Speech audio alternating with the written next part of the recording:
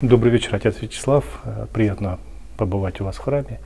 А, очень интересную тему вы подняли на молитвенном завтраке. Она очень заинтересовала многих, и, в то, и нашу компанию тоже. А, и очень хотелось бы, чтобы вы рассказали поподробнее о той э, деятельности по вековечению памяти, которую ведете вот э, лично вы и друзья из байк-клуба. Ну, эта деятельность очень длительная по времени, и она принимает разные формы. Если говорить о мотоциклистах, то э, сам клуб существует ну, относительно недолго, там 7 лет. Но э, формировался корпус людей, неравнодушных к истории и войне, где-то лет 10. Так значит, они вот. сразу. Ну, это уже десятилетней давности. Подружились работа. с мотоциклистами не сразу. Да, сама поисковая деятельность где-то э, у меня вот четверть века занимает. 95 -го года я отсчет веду. Вы уже первых в САНе были? захоронений. Нет, еще вот я э, еще не был в САНе, я был студентом семинарии, но уже тогда я занимался храмом, который находится при фронтовой полосе, который, настоятелем до сих пор я являюсь. Вот. Чуть позднее принял сан священный. Вот. Но с тех э, лет уже вот, э, конкретная работа по поисковой деятельности, по увековечению памяти. А откуда это вот такое ваше хобби или любовь, или вот что это такое? Вы имеете в виду поисковую деятельность? Да. Ну, там, где я э, служил и служу, там невозможно не быть причастным. Нельзя быть безучастным или что-то будет не так. Потому что леса наполнены останками солдат. Э, это позиционная война в течение почти там, трех лет – это брутальные такие столкновения, это несколько операций по деблокаде Ленинграда, там три Синявинских, э, отдельно Карбусельская операция, МГИНская операция, там, э, отдельно Любанская операция. Это, это чудовищные потери. И, конечно, э, ну, невозможно не быть причастным к этому, если ты э, там, честный священник и христианин вопрос э, захоронения там, останков врагов, э, вопрос увековечения памяти наших частей, отстрелянных до последнего солдата. Все это э, такие важные вопросы, которые встали передо мной. Но в анамнезе, как врачи говорят, у меня ведь отец фронтовик. У меня же вот эти истории, которые он э, неохотно, только там выпив с друзьями, Э, мог озвучивать. Настоящие фронтовики, прошедшие там кровь э, в шее, э, грязь, э, мрак от этой войны, они уходили от вопросов. На вопрос, как это было, что это было, да ужас был. Вот ответ фронтовика. Поэтому я был подготовлен уже вот э, своим детством, своим отцом. И когда вдруг э, Господь вот так вот поставил перед тем, что надо что-то делать с этими солдатами, то, конечно, э, ответ был ясен. Надо хоронить, надо заниматься увековечением памяти. Чем я и занимаюсь. Скажите, ну, это все-таки, будем говорить так, ну, гражданская инициатива. Это э, захоронение, увековечение. Разве это не государственное дело? Ведь они же отдавали жизнь за страну. Слушайте, ну я говорю вам теперь уже как государственный человек, потому что я член общественной палаты, нашего субъекта федерации я э, занимаюсь э, не как священник, например, а как гражданин этим вопросом. Но честно скажу, что вопросов очень много государству, очень много. Мы заполняем целые такие э, лакуны, белые пятна по историографии. Были неудобные темы, были запретные темы, которые только сейчас мы, например, поднимаем – ну, э, не связано там с большим каким-то преступлением там государства, но, например, вопрос религиозности солдат на фронте. Да, у нас-то война, вот она в окопах, можно все что угодно ожидать, но находишь икону в блиндаже, находишь у них нательные крестики, зашитые там э, образки, которые там сточены, за, закамуфлированы под монетки – есть э, там такой момент, вот находишь сапоги солдата, поисковая такая вот методика, разрывается он до каблука, каблук приподнимается, и там между стелькой и каблуком, там ниша. Вот там может быть э, записка. Там очень часто находят крестик нательный. Вот, например, такая ситуация и так далее. Сбитый летчик. У меня музей есть, там есть. Сбитый летчик, вот, ну, все что угодно можно у него найти. А, разведывательный полет. У него документов почти ничего нет. Подмосковье подняли. Но у него рукописные иконы в планшете. Причем разные люди рисовали, разные руки. Зачем? Почему? Проигравший дуэль снайпер наш, э, так его и не нашли во время войны. Сейчас нашли наши поисковики, университетский отряд. Ну, казалось бы, у человека, идущего убивать, ну что он можно найти в кармане? У него Евангелие лежит. Вот. Блиндаж на Волховском фронте, впереди наших окопов, э, камуфляж белый, зимний, э, зимний период, э, закамуфлировали трубу выходящую, там маленькая буржуечка в блиндаже, а к нашим позициям написан образ Божией Матери яркими красками. То есть, ну вот, э, как бы наши видят, время. что это, э, сказать, под покровом Божией Матери, там наши в блиндаже сидят в дзоте. Вот. вот таких находок очень много, это одна там тема. Но государство что не сделало? Ладно, Бог с ним, там религиозность была под запретом, Бог с ним. Э, не увековечены целые исторические такие сражения, целые пласты. Там 41 год мы отступали, но мы дали несколько образцовых боев немцам на подступах к Ленинграду.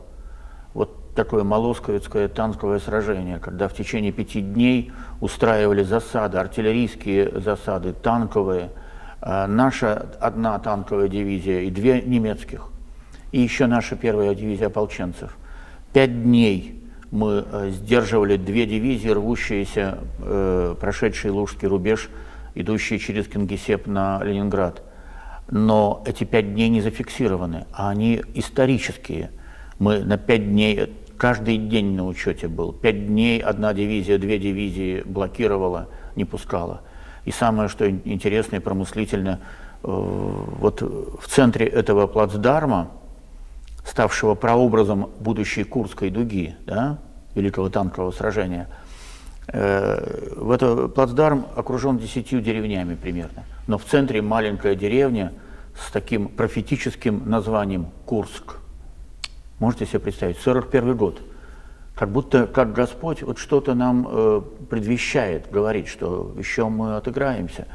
Но это ладно, тоже лакуны. Самая главная претензия. Есть федеральные законы, которые э, устанавливают статус воинского захоронения. Два федеральных закона. Нельзя трогать, нельзя копать, нельзя переносить, только в исключительном случае. А этих фактов очень много – когда переносят? Когда э, не то, что не переносят, когда срывают, закапывают. Хотите Передвижные сказать, что... полевые госпитали имели свои участки захоронений. Где они? До сих пор не озвучены. Эти ППГ, они имели свои кладбища воинские. Ну вот в Колтушах, например, там был передвижной полевой госпиталь, туда доставляли ребят, которые э, воевали в составе 330-го стрелкового полка, в котором воевал Владимир Спиридонович Путин. Это его однополчане. 800 человек туда были доставлены. Где они? А э, сторожилы говорят, да, сбрасывали так сказать, в котлован э, э, землю, там равняли, нивелировали, кости видели. Ну вот это, это героические защитники. Таких очень много. Э, устраивают песчаные карьеры на месте полковых захоронений, передовая э, до сих пор не мемориализирована. Еще в 60-е годы был поставлен вопрос, мемориальная зона, которая должна стать таким ну, э, трендом Петербурга, Ленинградской области. Но нет такого города в истории э, мира и человечества, как Ленинград. И бои на поступах к Ленинграду – это величайший интерес и туристический, и паломнический, и исторический, и патриотический. Но это фантастический запас э, сказать, знаний. Эта мемориальная зона до сих пор не утверждена. И у нас на Синявинских высотах 200 гектар отданы под птицефабрику. И э, когда строили, снимали слой фронтовой – я знаю человека, который просто поставил ребят под бульдозеры, и они просто выхватывали из-под ковшей. Кости. Огромный ангар, военно-археологический музей. Я спросил, сколько лет вы собирали это? Полгода, говорит. из-под ножей бульдозеров на Синявинских высотах. Ну как так можно поступать? Или там плана создания мусорного полигона. Но это государство. Но как государство, если там лежат ребята, которые защищали это государство? Нельзя же их завалить мусором. Вот. Таких вопросов очень много. Э, очень много вопросов, связанных с легитимностью, например, вот сейчас э, мы стараемся, есть такое понятие низовой мемориализации, народной мемориализации. Вот мы выезжаем, ставим указатели, информационные щиты – Ребята-поисковики сами рубят стилизованные часовни, памятники на месте э, боев. Но вот часовня, это на два на два. Обращаются к властям, разрешите нам, а власти говорят, это земли лесного кодекса. Обращаемся к лесовикам, они говорят, берите в аренду два на два и ставьте, что хотите. Но никому эта земля не нужна. Это часовня единственное, что увековечивает, я не знаю, там их с десяток я осветил – по Ленинградской области. А, единственное, что увековечивает исторические бои, но государство ничего не сделало, делает народ. И все равно народу то же самое государство говорит, берите в аренду и ставьте свои памятники. Кому памятники? Нам же памятники, нашим же отцам и дедам. Вот. И вот вопрос легитимизации, например, этих знаков, введения их в правовое поле с э, таким э, понятным «не трожь», это священное. Вот. Это, например, вопрос, который я поднимаю в общественной палате. Вот Удается, у нас будет да, большое, большое мероприятие, посвященное этому. Находит это понимание у всех людей. Потому что вот на молитвенном завтраке мы были, и я смотрел, люди уже рассеяны, уже устали, уже много да. часов, уже все. Кто-то зевает, смеются, разговаривает. Но пошли кадры с войной, пошли кадры с этим. Я наблюдал за залом. Все выстроились, все вытянулись потому что война коснулась каждой семьи. У всех это в анамнезе, в памяти есть. И я смотрю, ну все, все, зал выстроился, он на одном дыхании смотрит. Поэтому война никого не оставляет равнодушным, и вопросы многочисленные нужно решать. Очень простой вопрос. А, по федеральному закону нашли солдата, надо увековечить его имя. То есть в камне или в металле высечь, желательно на месте его погребения – но вот я строю храм, э, посвященный нашим солдатам, павшим в Синявинских операциях, на станции Апраксин. я поднимаю вопрос перед администрацией. Находится честный человек, Николай Васильевич Михайлов, и он говорит, да, конечно, это и меня, я на пенсию не могу уйти, конечно, надо увековечить, мы не увековечили 2700 с лишним имен. Я говорю, пожалуйста, храм в вашем распоряжении. И то, что не сделало государство, делает церковь. 2700 имен, которые должны были быть в камне в металле, на местах, где покоятся эти ребята, найденные не, не как предатели, не как перебежчики, а на передовой. Это герои войны. Мы увековечили на стенах храма, внутри и снаружи, например. А государство не сделало. Вот. Ну вот таких вопросов много. Вопрос э, порядка на захоронениях. Вот курсанты э, второго батальона э, Новопетерговского училища погранвойск. Исторические бои сдерживают рвущихся к Красногвардейску, к Гатчине немцев. А, вот их братская могила, большие борницы, деревня. Три раза ремонтировали эту могилу. И каждый раз, за каждым ремонтом, исчезали имена с плит. Ну, а зачем? Невыгодно. Ну, неудобно же там прописывать, там все в Австрии, где-нибудь в горах, австрийцы, не знающие кириллицы, обветшавшие наши буквы на наших воинских могилах, пытаются восстановить наше «и» греческое, заменяя на латинское «н», потому что они не знают такой буквы. Австрийцы, крестьяне в горах где-то. А у нас вот этот второй батальон оставили только майора Золотарева и еще девять имен. Хорошо. Мы приезжаем и спокойненько прикручиваем щит на ограду этой могилы на монтажных стяжках, где 200 ребят поименованы все. Кто они были? От курсанта до учителя физкультуры в училище. Все они поименованы. Почему они исчезли? Вот это не должно быть такое. Или там русско-высоцкая, всем известный населенный пункт. На развилке дорог стоит стела. Слава героям. Каким героям? Мы приезжаем, и прикручиваем щит. где э, тоже несколько десятков имен ребят, которые погибли там. Это известно, да, что они там? Ну, конечно, мы изучаем этот вопрос. Нельзя просто обезличкой заниматься. Это конкретно, это артиллеристы, которые э, в доте вызвали огонь на себя. Это танкисты, которые сгорели в танке. Это летчики, которые спикировали и подожгли немцев. Все они конкретные, ребята, конкретные имена у них. Вот этим мы занимаемся, и э, это наша такая вот задача. А где вы э, э, знания получаете, ну, информацию об именах, о именно боях? Это открытые источники? Ну, Или сейчас это очень открытые? много открывается, хотя вот нас беспокоит сейчас решение э, Министерства обороны закрыть опять фонды, закрыть э, архивы, и многие э, сказать, вопросы э, останутся так и невыясненными. Но надо признать, в последние годы очень много оцифровывалось, очень много открывалось. Конечно, сидим в базах, сидим в архивах. У меня целое сестричество, э, у меня девочки образованные, умные, талантливые сидят и изучают э, документы. Я начинал работу с ними, они не понимали, что такое СД, стрелковая дивизия. Аббревиатур не понимали, военного дела не знали. Сейчас многие из них сделают наших офицеров штабных по знанию военного дела. Поднимают истории целых частей. Мы сейчас готовим э, там книгу, еще, может быть, надо год-два работать по 50-му батальону аэродромного обеспечения. Мужики в тужурках, в комбинезонах, механики, заправщики, э, там, м, те, кто маскировкой занимались, рота связи, охраны, повара. То, что обеспечивает жизнь летчиков. Вот их исторический бой около моего храма, малюсенький эпизод, который оказался серьезной э, страницей обороны Ленинграда, за который получил орден командир батальона.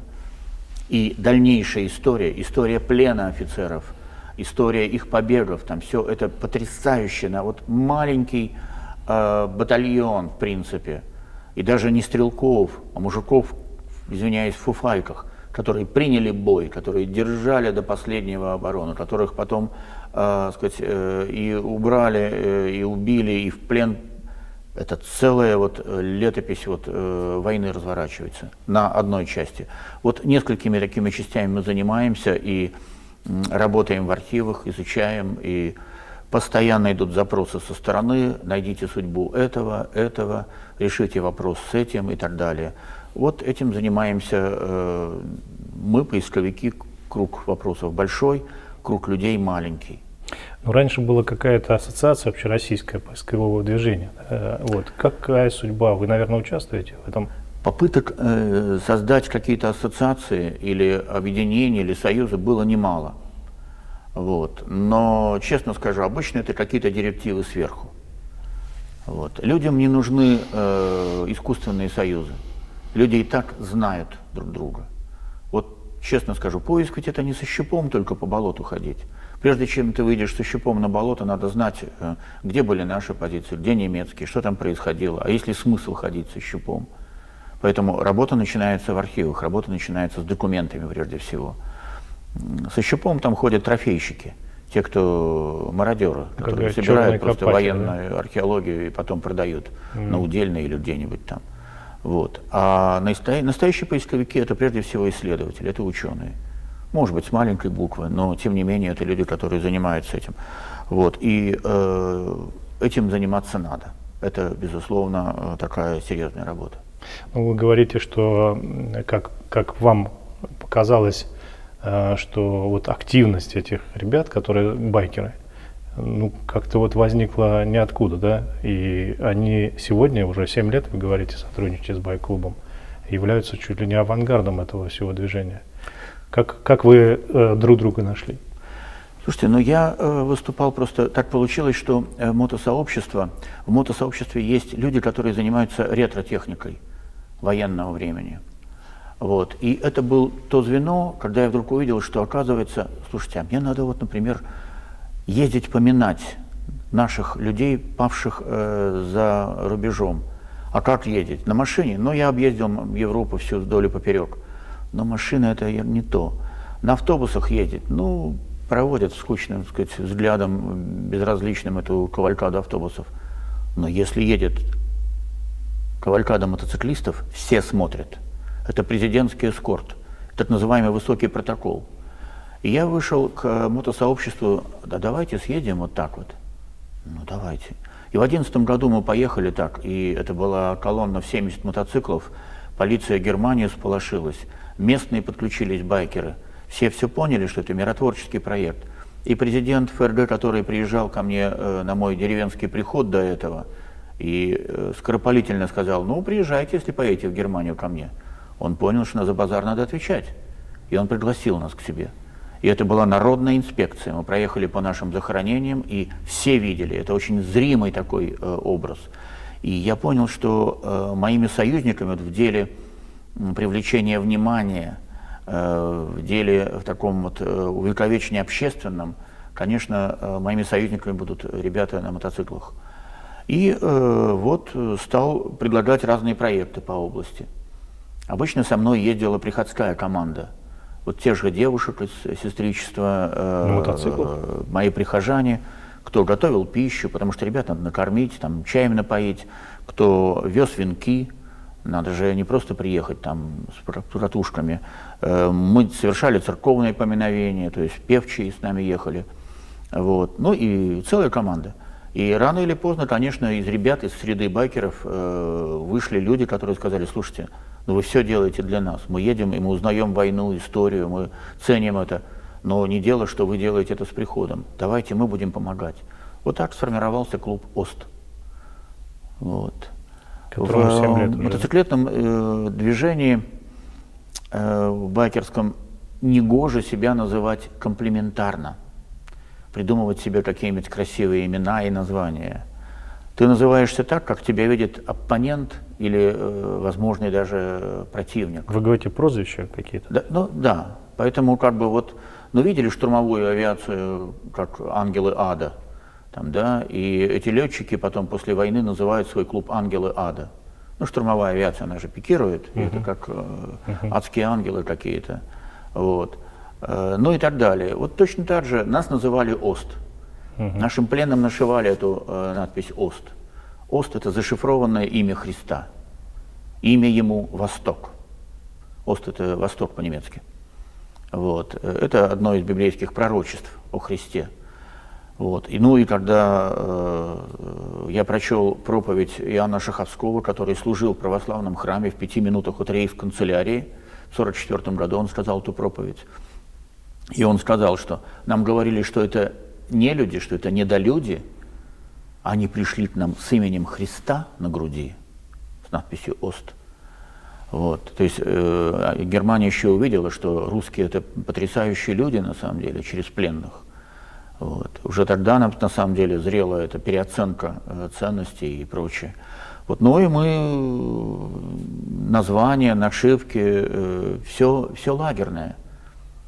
Вот эти винкели, которые нашивали нашим э, э, пленным в лагерях немцы. Вот они, собственно, и есть те патчи, которые нашивают наши ребята. А скажите, как относятся к воинским захоронениям, ну, советским, получается, а в Германии?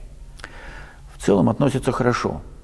Есть договор э, межгосударственный от 1992 года, суть которого вульгарно можно свести к одному. Мы даем возможность немцам перезахоранивать своих солдат у себя на своей территории, делать сборные воинские захоронения.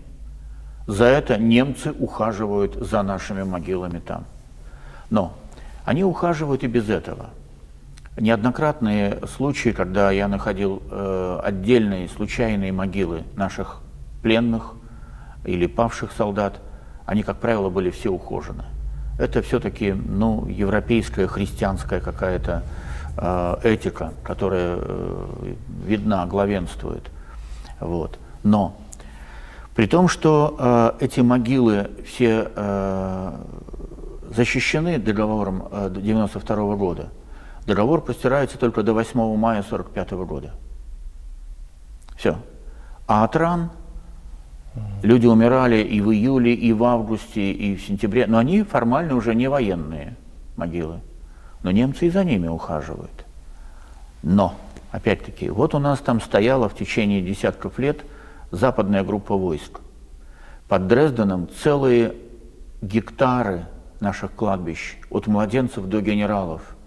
Люди умирали в результате инфекций, болезней, военных учений, несчастных случаев и прочее, прочее. Эти могилы никаким договором, договором не э, э, защищены. И немцы до сих пор пытаются ухаживать за этими могилами.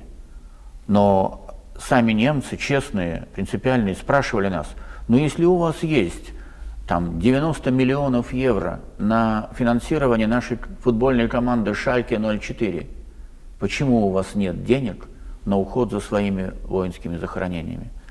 Вот воинские захоронения западной группы войск существуют только потому, что немцы, ну вот, не знаю, ну вот, хоть как-то держат их в порядке. Они зарастают. Я сам видел косулю, которая ходит между могил.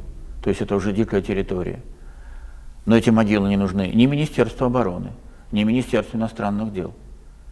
Только общественность. Вот мы поднимаем этот вопрос. В нашем фильме, например, мы поднимали вопрос. Как?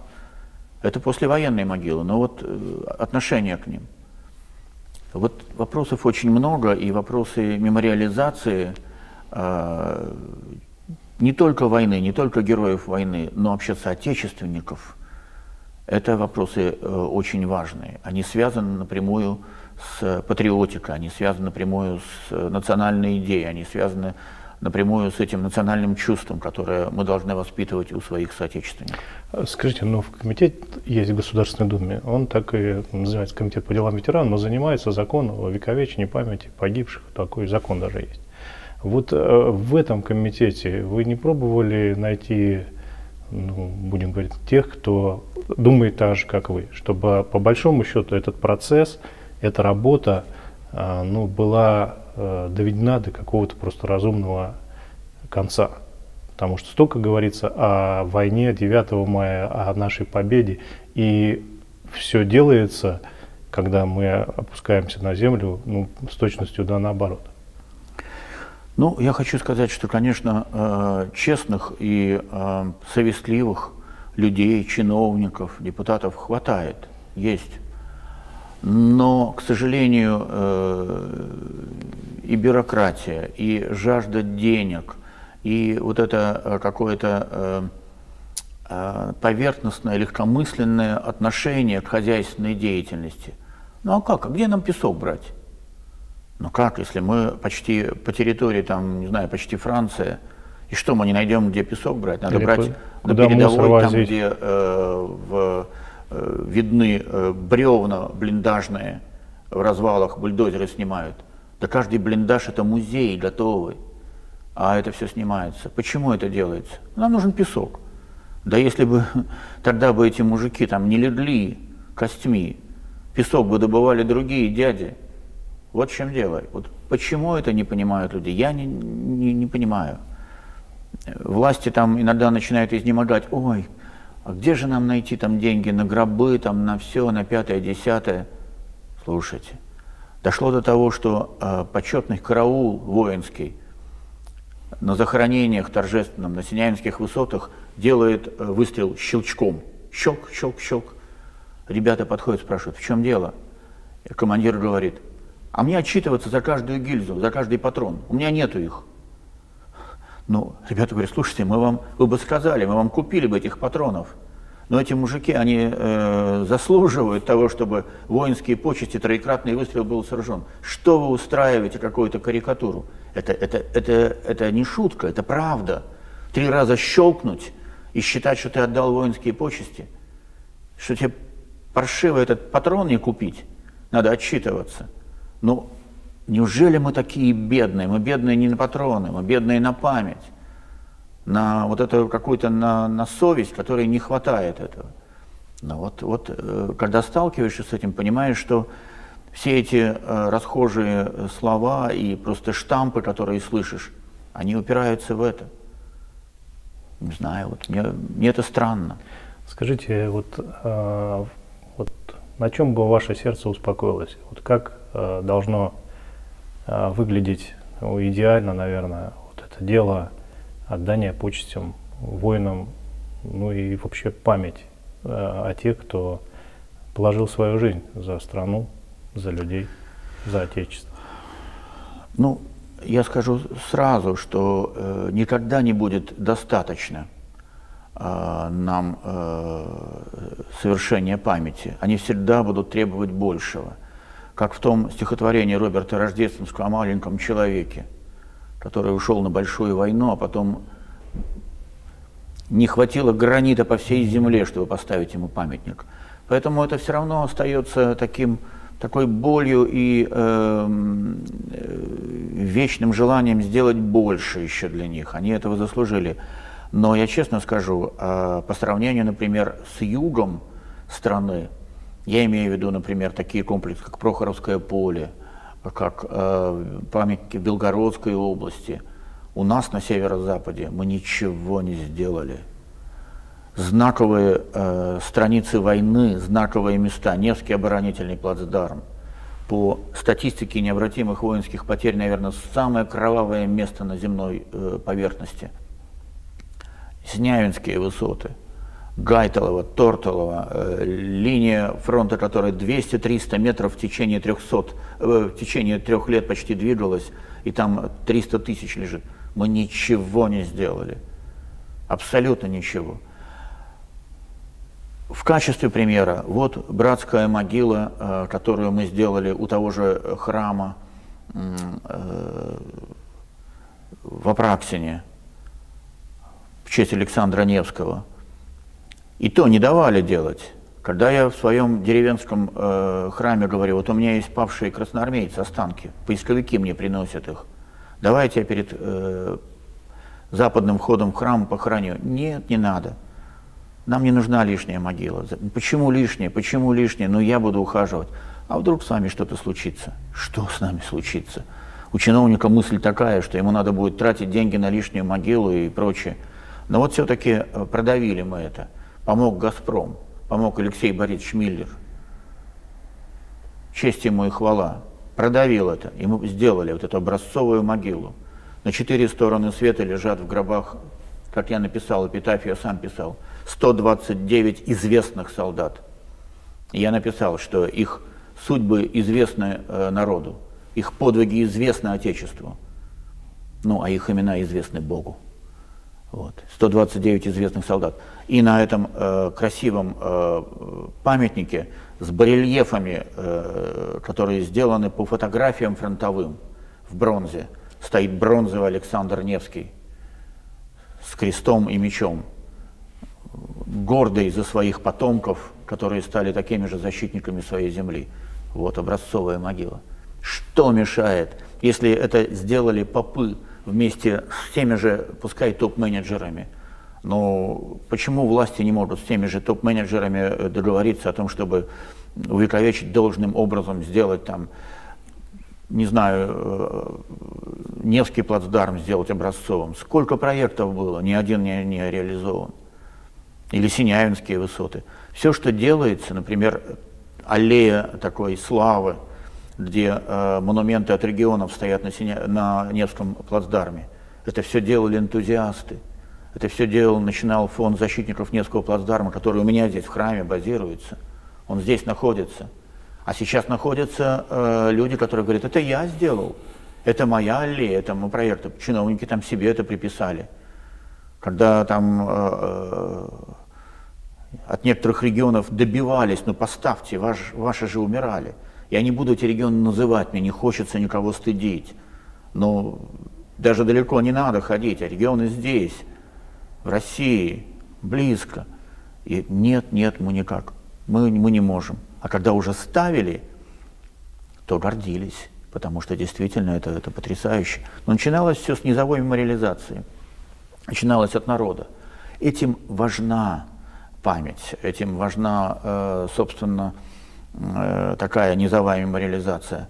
Есть замечательные изыскания по вопросам памяти. Я занимаюсь не только практикой, но и теорией. Есть замечательный такой э, слой ученых и, наверное, ведущие такие работы француза Пьера Нара, такого ученого. Он исследовал феномен памяти. И вот он э, противопоставил память истории.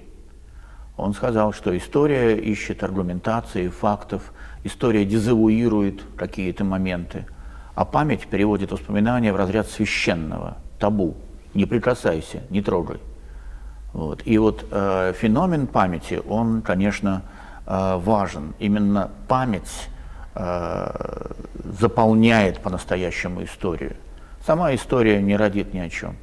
Ну, нет, э, ну, дайте мне полковые журналы, там, дайте мне статистику потерь, тогда говорите, там, о бое там, Зиновия Колобанова. Ну, вот ну, нету данных, ну, значит, не было боя. Вот. А таких лакун очень много. А народ помнит.